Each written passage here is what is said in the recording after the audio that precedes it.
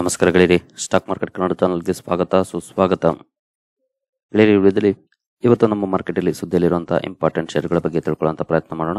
ಸಾಕಷ್ಟು ಸ್ಟಾಕ್ಗಳಿಗೆ ಸಂಬಂಧಪಟ್ಟಂತ ಅಪ್ಡೇಟ್ಗಳು ಬಂದಿದ್ದಾವೆ. ಅವುಗಳನ್ನ ಒಂದೊಂದಾಗಿ ತಿಳ್ಕೊಳ್ಳುವಂತ ಪ್ರಯತ್ನ ಮಾಡೋಣ.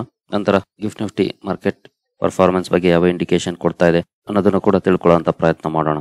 ಮೊದಲಿಗೆ ಡಿಸ್ಕ್ಲೈಮರ್ ಕೊಡ್ಲಿಕ್ಕೆ ಇಷ್ಟಪಡ್ತೀನಿ. ಇಲ್ಲಿ ಕವರ್ ಮಾಡ್ತಿರೋಂಥ ಯಾವುದೇ ಸ್ಟಾಕ್ ಅನ್ನು ಕೂಡ ರೆಕಮೆಂಡ್ ಮಾಡ್ತಿಲ್ಲ. ನೀವು ಫರ್ದರ್ ಸ್ಟಡಿ ಮಾಡಿ ಡಿಸಿಷನ್ ತಗೊಳ್ಬೋದು. ಆಸ್ ಎಜುಕೇಶನಲ್ ಪರ್ಪಸ್ ನಾನು ಈ ವಿಡಿಯೋ ನಿಮ್ಮ ಮುಂದೆ ತರ್ತಾ ಇದ್ದೀನಿ. ಏನೇ ಅಮೆರಿಕನ್ ಮಾರ್ಕೆಟ್ನ ಪರ್ಫಾರ್ಮೆನ್ಸ್ ನೋಡಿದ್ರೆ ಡೌಜನ್ಸ್ ಅಲ್ಲಿ ನೋಡಬಹುದು ಒನ್ ಟ್ವೆಂಟಿ ಸಿಕ್ಸ್ ಪಾಯಿಂಟ್ಸ್ ಅಥವಾ ಜೀರೋ ಪಾಯಿಂಟ್ ತ್ರೀ ಪರ್ಸೆಂಟ್ ಒಂದು ಪರ್ಫಾರ್ಮೆನ್ಸ್ ನೋಡಲಿಕ್ಕೆ ಸಿಕ್ಕಿದೆ. ಕ್ಯಾಪ್ ಅಪ್ ಅಲ್ಲಿ ಓಪನ್ ಆಗಿ ನಂತರ ಸ್ವಲ್ಪ ಡೌನ್ ಆಗಿ ನಂತರ ಒಳ್ಳೆ ರಿಕವರಿ ಕೂಡ ನೋಡಲಿಕ್ಕೆ ಸಿಕ್ಕಿದೆ. Over all one twenty six points up ಅಲ್ಲಿ ಡೌಜನ್ಸ್ ಕ್ಲೋಸಿಂಗ್ ಅನ್ನು ಕೊಟ್ಟಿದೆ. ಹಾಗೆ ನಾ ಸ್ಟಾಕ್ ಪರ್ಫಾರ್ಮೆನ್ಸ್ ಅನ್ನು ನೋಡಿದ್ರೆ ಇಲ್ಲೂ ಕೂಡ ತುಂಬಾ ಚೆನ್ನಾಗಿ ಪರ್ಫಾರ್ಮೆನ್ಸ್ ಕಂಡು ಬಂದಿದೆ. ಟೂ ಫಿಫ್ಟಿ ನೈನ್ ಪಾಯಿಂಟ್ಸ್ ಅಥವಾ one point four five percent ಅಲ್ಲಿ ನಾ ಸ್ಟಾಕ್ ಕ್ಲೋಸಿಂಗ್ ಅನ್ನು ಕೊಟ್ಟಿದೆ. ಐ ಟಿ ಸೆಕ್ಟರ್ ತುಂಬಾನೇ ಚೆನ್ನಾಗಿ ಪರ್ಫಾರ್ಮ್ ಮಾಡ್ತಾ ಇದೆ. ನಮ್ಮ ಐ ಟಿ ಸೆಕ್ಟರ್ ಹಂಗ್ ನೋಡಿದ್ರೆ ಲಾಸ್ಟ್ ತ್ರೀ ಫೋರ್ ಡೇಸ್ ಅಲ್ಲೂ ಕೂಡ ಇವತ್ತು ಕೂಡ ಫೋಕಸ್ ಮಾಡಬಹುದು ಯಾವ ರೀತಿ ರಿಯಾಕ್ಷನ್ ಇರುತ್ತೆ ಅಂತ. ನಂತರ ಎಡಿಆರ್ಗಳ ಕಡೆ ಬಂದ್ರೆ ಇನ್ಫೋಸಿಸ್ ಎಡಿಆರ್ ಅಲ್ಲಿ one point seven nine percent positive performance ಬಂದಿದೆ. ಐಸಿಐಸಿ ಬ್ಯಾಂಕ್ ಅಲ್ಲೂ ಕೂಡ one point seven percent positive ಇದೆ. H D F C one point five six percent positive ಇದೆ. ವಿಪ್ರೋ ಸ್ವಲ್ಪ ಡೌನ್ ಅಲ್ಲಿ ಕ್ಲೋಸಿಂಗ್ ಅನ್ನು ಕೊಟ್ಟಿದೆ. ಹಾಗೆ doctor Reddy's one point four percent positive ಅಲ್ಲಿ ಕ್ಲೋಸಿಂಗ್ ಅನ್ನು ಕೊಟ್ಟಿದೆ.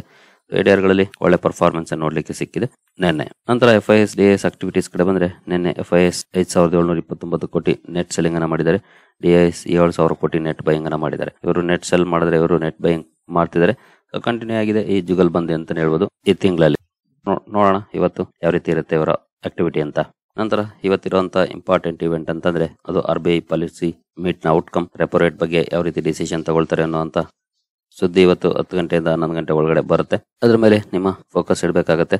ಇದಕ್ಕೆ ತಕ್ಕಂತೆ ಮಾರ್ಕೆಟ್ ಕೂಡ ರಿಯಾಕ್ಟ್ ಮಾಡುವಂತ ಚಾನ್ಸಸ್ ಇರುತ್ತೆ. ನಿನ್ನೆ ಈಗಾಗಲೇ ಇದ್ರ ಬಗ್ಗೆ ಡೀಟೇಲ್ ವಿಡಿಯೋ ಕವರ್ ಮಾಡಿದ್ದೀನಿ. ಒಂದ್ಸಲ ಅಬ್ಸರ್ವ್ ಮಾಡಬಹುದು ರೇಟ್ ಸೆನ್ಸಿಟಿವ್ ಸ್ಟಾಕ್ಸ್ಗಳು ಇವತ್ತು ಸುದ್ದಿಯಲ್ಲಿರ್ತವೆ. Like banking and financial companies ನಂತರ ರಿಯಲ್ ಎಸ್ಟೇಟ್ ಆಟೋ ಸ್ಟಾಕ್ಸ್ ಇವೆಲ್ಲ ಕೂಡ ಫೋಕಸ್ ಅಲ್ಲಿ ಇರ್ತವೆ. ಅವುಗಳನ್ನ ಅಬ್ಸರ್ವ್ ಮಾಡಬಹುದು ಯಾವ ರೀತಿ ರಿಯಾಕ್ಷನ್ ಸ್ಟಾಕ್ಗಳಲ್ಲಿ ಬರುತ್ತೆ ಅಂತ. ಜೊತೆಗೆ ಏನ್ ಡಿಸಿಷನ್ ಬರುತ್ತೆ, ಅದರ ಮೇಲೆ ರಿಯಾಕ್ಷನ್ ಡಿಪೆಂಡ್ ಆಗುತ್ತೆ. ರೇಟ್ ಕಟ್ ಚಾನ್ಸಸ್ ತುಂಬಾ ಕಡಿಮೆ ಬಟ್ ಸ್ಟ್ಯಾನ್ಸ್ ಡೋವಿಶ್ ಇರುತ್ತಾ ಅಥವಾ ಆಕಿಶ್ ಇರುತ್ತಾ, ಅದು ಇಂಪಾರ್ಟೆಂಟ್ ಆಗುತ್ತೆ. ನೋಡೋಣ ಏನ್ ಡಿಸಿಷನ್ ತಗೊಳ್ತಾರೆ ಅಂತ. ನಂತರ ಇಂಡಿವಿಜುವಲ್ ಸ್ಟಾಕ್ಗಳ ಕಡೆ ಬಂದ್ರೆ ಎಸ್ ಕೆ ಎಫ್ ಇಂಡಿಯಾ ಇವತ್ತು ಸುದ್ದಿಯಲ್ಲಿರುತ್ತೆ ಕಂಪನಿ ತನ್ನ ಇಂಡಸ್ಟ್ರಿಯಲ್ ಬಿಸ್ನೆಸ್ ಅನ್ನು ಡಿಮರ್ಜ್ ಮಾಡಿ ಸಬ್ಸಿಡಿಯರಿ ಮಾಡುವಂತ ನಿರ್ಧಾರಕ್ಕೆ ಅಪ್ರೂವಲ್ ಅನ್ನು ಕೊಟ್ಟಿದೆ. ಈ ಕಾರಣದಿಂದ ಸುದ್ದಿಯಲ್ಲಿರುತ್ತೆ ಸ್ಟಾಕ್ ಅನ್ನು ಅಬ್ಸರ್ವ್ ಮಾಡೋದು. ನ್ಯೂಸ್ಗೆ ಯಾವ ರೀತಿ ರಿಯಾಕ್ಷನ್ ಬರುತ್ತೆ ಅಂತ. ನಂತರ ವೆಲ್ಸ್ಪನ್ ಎಂಟರ್ಪ್ರೈಸಸ್ ಕೂಡ ಸುದ್ದಿಯಲ್ಲಿರುತ್ತೆ. ಕಾರಣ ಕಂಪನಿಗೆ ಒಂದು ಒಳ್ಳೆ ಆರ್ಡರ್ ಸಿಕ್ಕಿದೆ. ಸಾವಿರದ ಒಂಬೈನೂರ ಎಂಬತ್ತೊಂಬತ್ತು ಕೋಟಿ ಆರ್ಡರ್ ಸಿಕ್ಕಿದೆ. ಈ ಕಾರಣದಿಂದ ಸುದ್ದಿಯಲ್ಲಿರುತ್ತೆ ಸ್ಟಾಕ್ ಅನ್ನು ಅಬ್ಸರ್ವ್ ಮಾಡಬಹುದು ಈ ನ್ಯೂಸ್ಗೆ ಸಂಬಂಧಪಟ್ಟಂತೆ ಯಾವ ರೀತಿ ರಿಯಾಕ್ಷನ್ ಬರುತ್ತೆ ಅಂತ ಏಳು ಸಾವಿರದ ನಾನೂರು ಕೋಟಿ ಮಾರ್ಕೆಟ್ ಕ್ಯಾಪ್ ಇರುವಂತಹ ಸ್ಟಾಕ್ ಮ್ಯಾಕ್ಸಿಮಮ್ ಪರ್ಫಾರ್ಮೆನ್ಸ್ ಅನ್ನು ನೋಡಿದ್ರೆ ಈ ರೀತಿ ಪರ್ಫಾರ್ಮೆನ್ಸ್ ಅನ್ನು ಕೊಟ್ಟಿರುವಂತಹ ಕಂಪನಿ ಇವತ್ತು ಅಬ್ಸರ್ವ್ ಮಾಡಬಹುದು ಈ ಆರ್ಡರ್ನ ಕಾರಣಕ್ಕೆ ರಿಯಾಕ್ಷನ್ ಹೇಗಿರುತ್ತೆ ಅಂತ. ನಂತರ ಜೆನ್ಸಲ್ ಎಂಜಿನಿಯರಿಂಗ್ ಕೂಡ ಸುದ್ದಿಯಲ್ಲಿರುತ್ತೆ. ಕಾರಣ ಕಂಪನಿ ಒಂದು ಅಪ್ಡೇಟ್ ಅನ್ನ ಕೊಟ್ಟಿದೆ. ತನ್ನ ಸೋಲಾರ್ ಇಪಿಸಿ ಬಿಸ್ನೆಸ್ ಏನಿದೆ ಅದು ನಾಲ್ಕು ಸಾವಿರ ಕೋಟಿ ದಾಟಿದೆ ಅಂತಂದ್ರೆ ಇಪಿಸಿ ಬಿಸ್ನೆಸ್ನ ಆರ್ಡರ್ ಬುಕ್ ನಾಲ್ಕು ಸಾವಿರ ಕೋಟಿಯನ್ನು ಕ್ರಾಸ್ ಮಾಡಿದೆ ಅನ್ನುವಂತ ಮಾಹಿತಿಯನ್ನ ಎಕ್ಸ್ಚೇಂಜಸ್ಗೆ ಫೈಲಿಂಗ್ ಅಲ್ಲಿ ತಿಳಿಸಿದೆ. ಈ ಕಾರಣದಿಂದ ಸುದ್ದಿಯಲ್ಲಿರುತ್ತೆ ಸ್ಟಾಕ್ ಅನ್ನು ಅಬ್ಸರ್ವ್ ಮಾಡಬಹುದು ಏನಾದರೂ ರಿಯಾಕ್ಷನ್ ಈ ನ್ಯೂಸ್ಗೆ ಸಂಬಂಧಪಟ್ಟಂತೆ ಇರುತ್ತಾ ಅಂತ. ನಂತರ ಐ ಆರ್ ಎಫ್ ಸಿ ಕೂಡ ಸುದ್ದಿಯಲ್ಲಿರುತ್ತೆ. ಕಾರಣ ಕಂಪನಿ ಎನ್ ಟಿ ಪಿ ಸಿಗೆ ಏಳ್ನೂರು ಕೋಟಿ ಫೈನಾನ್ಸಿಂಗ್ ಅನ್ನ ಮಾಡುವಂತ ನಿರ್ಧಾರವನ್ನ ಮಾಡಿದೆ. ರೈಲ್ವೆ ರೇಕ್ಸ್ಗೆ ಸಂಬಂಧಪಟ್ಟಂತೆ. ಈ ಕಾರಣದಿಂದ ಐ ಎಫ್ ಸಿ ಕೂಡ ಸುದ್ದಿಲಿರುತ್ತೆ ಜೊತೆಗೆ ಎನ್ ಟಿ ಪಿ ಸಿ ಕೂಡ ಸುದ್ದಿಲಿರುತ್ತೆ ಎರಡನ್ನು ಕೂಡ ಅಬ್ಸರ್ವ್ ಮಾಡಬಹುದು ಯಾವ ರೀತಿ ರಿಯಾಕ್ಷನ್ ಎರಡು ಸ್ಟಾಕ್ಗಳಲ್ಲಿ ಬರುತ್ತೆ ಅಂತ. ನಂತರ ಇನ್ಫೋಸಿಸ್ ಕೂಡ ಸುದ್ದಿಲಿರುತ್ತೆ ಕಂಪನಿ ಕಂಪನಿ ನ್ಯಾಷನಲ್ ಬ್ಯಾಂಕ್ ಜೊತೆ ಹಿಂದೆ ಒಪ್ಪಂದವನ್ನು ಮಾಡ್ಕೊಂಡಿತ್ತು. ಅದನ್ನ ನೆಕ್ಸ್ಟ್ ಫೋರ್ ಇಯರ್ಸ್ಗೆ ಎಕ್ಸ್ಟೆನ್ಷನ್ ಮಾಡ್ಕೊಂಡಿದೆ. ಒಪ್ಪಂದವನ್ನ ಕಂಟಿನ್ಯೂ ಮಾಡಿದೆ ಮುಂದಿನ ನಾಲ್ಕು ವರ್ಷಗಳಿಗೆ. ಈ ಕಾರಣದಿಂದ ಇನ್ಫೋಸಿಸ್ ಕೂಡ ಸುದ್ದಿಲಿರುತ್ತೆ ಈ ಸ್ಟಾಕ್ ಅನ್ನು ಕೂಡ ಅಬ್ಸರ್ವ್ ಮಾಡಬಹುದು ಯಾವ ರೀತಿಯ ರಿಯಾಕ್ಷನ್ ಮಾರ್ಕೆಟ್ ಅಲ್ಲಿ ಬರುತ್ತೆ ಅಂತ. ನಂತರ ಟೊರೆಂಟ್ ಪವರ್ ಕೂಡ ಸುದ್ದಿಲಿರುತ್ತೆ ಕಾರಣ ಕಂಪನಿಗೆ ಮಹಾರಾಷ್ಟ್ರದಿಂದ ಎರಡ್ ಸಾವಿರ ಮೆಗಾವ್ಯಾಟ್ ಪ್ರಾಜೆಕ್ಟ್ ಸಿಕ್ಕಿದೆ. ನೀವು ಇಲ್ಲಿ ನೋಡಬಹುದು ಎರಡ್ ಸಾವಿರ megawatt energy storage supply contract ಸಿಕ್ಕಿದೆ. ಈ ಕಾರಣದಿಂದ ಸುದ್ದಿಯಲ್ಲಿರುತ್ತೆ. ಟೊರೆಂಟ್ ಪವರ್ ಅನ್ನು ಕೂಡ ಅಬ್ಸರ್ವ್ ಮಾಡಬಹುದು ನ್ಯೂಸ್ಗೆ ಸಂಬಂಧಪಟ್ಟಂತೆ ಯಾವ ರೀತಿ ರಿಯಾಕ್ಷನ್ ಇರುತ್ತೆ ಅಂತ ಈ ಹಿಂದೆ ಸ್ಟಾಕ್ ಬಗ್ಗೆ ನಾನು ಡೀಟೇಲ್ ವಿಡಿಯೋ ಕೂಡ ಕವರ್ ಮಾಡಿದ್ದೀನಿ. ಎಂಬತ್ತೇಳು ಸಾವಿರ ಕೋಟಿ ಮಾರ್ಕೆಟ್ ಕ್ಯಾಪ್ ಅಂತ ಸ್ಟಾಕ್ ತುಂಬಾ ಚೆನ್ನಾಗಿ ಪರ್ಫಾರ್ಮ್ ಮಾಡ್ತಾ ಇದೆ ಇತ್ತೀಚಿನ ದಿನಗಳಲ್ಲಿ. ಇಂಟ್ರೆಸ್ಟ್ ಇರೋ ಸ್ಟಡಿ ಮಾಡಬಹುದು ಜೊತೆಗೆ ಪವರ್ ಸೆಕ್ಟರ್ ಬಗ್ಗೆ ಕೂಡ ಸಾಕಷ್ಟು ಸಲ ಕವರ್ ಮಾಡಿದ್ದೀನಿ. ಒಳ್ಳೆ ಗ್ರೋತ್ ಆಪರ್ಚುನಿಟಿ ಇದೆ ಅಂತ. ಯಾಕಂದ್ರೆ ಪವರ್ ಡಿಮಾಂಡ್ ಕೂಡ ತುಂಬಾ ದೊಡ್ಡ ಮಟ್ಟದಲ್ಲಿ ಜಾಸ್ತಿ ಆಗ್ತಾ ಇದೆ. ಇಂಟ್ರೆಸ್ಟ್ ಇರೋರು ಬೇಕಿದ್ರೆ ಸ್ಟಡಿ ಮಾಡಬಹುದು ಟೊರೆಂಟ್ ಪವರ್ ಅನ್ನ. ನಂತರ ಟಾಟಾ ಟೆಕ್ನಾಲಜೀಸ್ ಕೂಡ ಸುದ್ದಿಯಲ್ಲಿರುತ್ತೆ ಕಂಪನಿ ಹಾಗೂ B M W group joint venture ಅನ್ನು ಅನೌನ್ಸ್ ಮಾಡಿದೆ. Automotive software and business IT ಇನೋವೇಷನ್ಸ್ಗೆ ಸಂಬಂಧಪಟ್ಟಂತೆ. ಈ ಕಾರಣದಿಂದ ಟಾಟಾ ಟೆಕ್ ಕೂಡ ಸುದ್ದಿಯಲ್ಲಿರುತ್ತೆ ಈ ಸ್ಟಾಕ್ ಅನ್ನು ಕೂಡ ಅಬ್ಸರ್ವ್ ಮಾಡಬಹುದು ಏನಾದರೂ ರಿಯಾಕ್ಷನ್ ಸ್ಟಾಕ್ ಅಲ್ಲಿ ಕಂಡು ಬರುತ್ತಾ ಅಂತ. ನಂತರ ಐ ಆರ್ ಬಿ ಇನ್ಫ್ರಾಸ್ಟ್ರಕ್ಚರ್ ಕೂಡ ಸುದ್ದಿಯಲ್ಲಿರುತ್ತೆ ಕಾರಣ ಟೋಲ್ ಕಲೆಕ್ಷನ್ ಡೇಟಾ ರಿಲೀಸ್ ಆಗಿದೆ. ತುಂಬಾ ಒಳ್ಳೆ ಪ್ರಮಾಣದಲ್ಲಿ ಇಂಪ್ರೂವ್ಮೆಂಟ್ ಆಗಿದೆ ಟೋಲ್ ಕಲೆಕ್ಷನ್ ಅಲ್ಲಿ.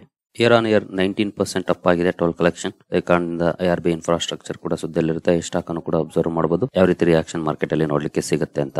ನಂತರ ಪ್ರೀಮಿಯರ್ ಎನರ್ಜಿಸ್ ಕೂಡ ಸುದ್ದಿಯಲ್ಲಿರುತ್ತೆ. ಕಂಪನಿ ಬ್ರೈಟ್ ನೈಟ್ ಇಂಡಿಯಾ ಜೊತೆ ನೂರ ಎಪ್ಪತ್ಮೂರು ಮೆಗಾವ್ಯಾಟ್ ಸೋಲಾರ್ ಮಾಡ್ಯೂಲ್ಸ್ಗೆ ಸಂಬಂಧಪಟ್ಟಂತೆ ಒಪ್ಪಂದವನ್ನು ಮಾಡಿಕೊಂಡಿದೆ. ಈ ಕಾರಣದಿಂದ ಪ್ರೀಮಿಯರ್ ಎನರ್ಜೀಸ್ ಕೂಡ ಸುದ್ದಿಯಲ್ಲಿರುತ್ತೆ. ಈ ಸ್ಟಾಕ್ ಅನ್ನು ಕೂಡ ಅಬ್ಸರ್ವ್ ಮಾಡಬಹುದು. ನ್ಯೂಸ್ಗೆ ಸಂಬಂಧಪಟ್ಟಂತೆ ಯಾವ ರೀತಿ ಪರ್ಫಾರ್ಮೆನ್ಸ್ ಇರುತ್ತೆ ಅಂತ.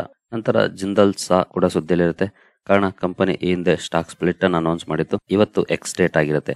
ಒನ್ ಇಷ್ಟು ಒನ್ ರೇಷೋದಲ್ಲಿ ಸ್ಟಾಕ್ ಸ್ಪ್ಲಿಟ್ ಆಗುತ್ತೆ. Sorry one is to two ರೇಷೋದಲ್ಲಿ ಅಂದ್ರೆ ಒಂದು ಶೇರ್ ಎರಡು ಶೇರ್ ಆಗುತ್ತೆ. ಶೇರ್ಗಳು ಡಬಲ್ ಆಗುತ್ತೆ.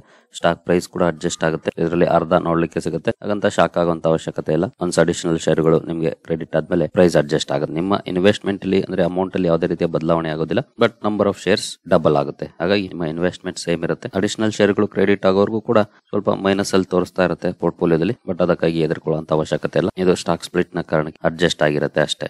ನಂತರ ರಿಸಲ್ಟ್ ಕ್ಯಾಲೆಂಡರ್ ಕಡೆ ಬಂದ್ರೆ ಇವತ್ತು ಕೆಲವು ಕಂಪನಿಗಳ ರಿಸಲ್ಟ್ ಇದೆ ನೋಡಬಹುದು ಜಿ ಟಿ ಪಿ ಎಲ್ ಆಗ್ಬಹುದು ಕ್ರೆಟೋಸಿಸ್ ಲೋಟಸ್ ರೇತಾನ್ ವಿವಿಧಂ ಡಬ್ಲ್ಯೂ ಸಿ ಐ ಎಲ್ ಇವುಗಳ ರಿಸಲ್ಟ್ ಇದೆ. ಇವುಗಳನ್ನು ಕೂಡ ಅಬ್ಸರ್ವ್ ಮಾಡಬಹುದು ಯಾವ ರೀತಿಯ ಪರ್ಫಾರ್ಮೆನ್ಸ್ ಇರುತ್ತೆ ಅಂದ್ರೆ ರಿಸಲ್ಟ್ ಯಾವ ರೀತಿ ಇರುತ್ತೆ, ಅದಕ್ಕೆ ತಕ್ಕಂತೆ ರಿಯಾಕ್ಷನ್ ಕೂಡ ಕಂಡು ಬರುವಂತಹ ಚಾನ್ಸಸ್ ಇರುತ್ತೆ ಮಾರ್ಕೆಟ್ ಅಲ್ಲಿ. ಇವುಗಳನ್ನು ಕೂಡ ಅಬ್ಸರ್ವ್ ಮಾಡಬಹುದು ನಂತರ ಪ್ರೈಮರಿ ಮಾರ್ಕೆಟ್ ಕಡೆ ಬಂದ್ರೆ Garuda construction I P open ಇದೆ. ಪ್ರೀಮಿಯಂ ನೋಡಬಹುದು ಜಸ್ಟ್ ಫೈವ್ ರುಪೀಸ್ ಇದೆ. ನೆನೆ ನೋಡಿದಾಗ ನಾವು ಟೆನ್ ರುಪೀಸ್ ಇತ್ತು, ಈಗ ಫೈವ್ ರುಪೀಸ್ ಇಳಿದಿದೆ ನೋಡೋಣ, ಏನಾದ್ರು ಚೇಂಜ್ ಆಗುತ್ತಾ ನಾಳೆ ವರ್ಷದಲ್ಲಿ ಅಂತ. ಬಟ್ ಆಸ್ ಆಫ್ ನಾವು ಇರುವಂತ ಪ್ರೀಮಿಯಂ ನೋಡಿದ್ರೆ ಅವಾಯ್ಡಬಲ್ ಐ ಪಿ ಅಂತ ಅನ್ಸುತ್ತೆ. ಬಟ್ ನೋಡೋಣ, ಏನಾದ್ರು ಚೇಂಜ್ ಆಗುತ್ತಾ ನಾಳೆ ವರ್ಷದಲ್ಲಿ ಅಂತ. ನಂತರ ಗಿಫ್ಟ್ ನಿಫ್ಟಿ ಕಡೆ ಬಂದ್ರೆ ಗಿಫ್ಟ್ ನಿಫ್ಟಿಯಲ್ಲಿ ಆಸ್ ಆಫ್ ನಾವು ಇಪ್ಪತ್ತೆಂಟು ಪಾಯಿಂಟ್ಸ್ ಅಥವಾ zero point one one percent positive performance ಕಂಡು ಬರ್ತಾ ಇದೆ. ಜೊತೆಗೆ ಏಷ್ಯನ್ ಮಾರ್ಕೆಟ್ಗಳು ಕೂಡ ತುಂಬಾ ಚೆನ್ನಾಗಿ ಪರ್ಫಾರ್ಮ್ ಮಾಡ್ತಾ ಇದಾವೆ ಇನ್ನು ಕೆಲವು ಓಪನ್ ಆಗಿಲ್ಲ. ಹಂಗಾಗಿ ಕಂಪೋಸಿಟ್ ಮಾತ್ರ ಸ್ವಲ್ಪ ನೆಗೆಟಿವ್ ಅಲ್ಲಿ ಇದೆ ಇನ್ನೆಲ್ಲವೂ ಕೂಡ ತುಂಬಾನೇ ಚೆನ್ನಾಗಿ ಪರ್ಫಾರ್ಮ್ ಮಾಡ್ತಾ ಇದೆ ಇದನ್ನ ನೋಡಿದ್ರೆ ಬಹುಶಃ ಗ್ಯಾಪ್ ಅಪ್ ಓಪನ್ ಆಗುವಂತ ಲಕ್ಷಣ ಕಾಣ್ತಾ ಇದೆ ಆಸ್ ಆಫ್ ನೌ ಬಟ್ ಒಂಬತ್ತು ಕಾಲಷ್ಟರಲ್ಲಿ ಇಲ್ಲಿನ ಪರಿಸ್ಥಿತಿ ಬದಲಾದ್ರೆ ಅದು ಬೇರೆ ವಿಚಾರ. ನೋಡೋಣ. As of now indication positive ಇದೆ. ಜೊತೆಗೆ ನಿನ್ನೆಯ ಪಾಸಿಟಿವ್ ಪರ್ಫಾರ್ಮೆನ್ಸ್ ಕೂಡ ಒಂದು ಮೊಮೆಂಟಮ್ ಅನ್ನ ತಂದು ಕೊಟ್ಟಿದೆ ಜೊತೆಗೆ ಇವತ್ತು ಆರ್ ಬಿ ಐ ಡಿಸಿಷನ್ ತಗೊಳುತ್ತೆ. ಅದು ಕೂಡ ತುಂಬಾನೇ ಕ್ರೂಷಿಯಲ್ ಆಗುತ್ತೆ. ಇವತ್ತಿನ ಮಾರ್ಕೆಟ್ ಪರ್ಫಾರ್ಮೆನ್ಸ್ ಬರ್ಲಿಕ್ಕೆ. ಕುತೂಹಲ ಅಂತ ಇದೆ.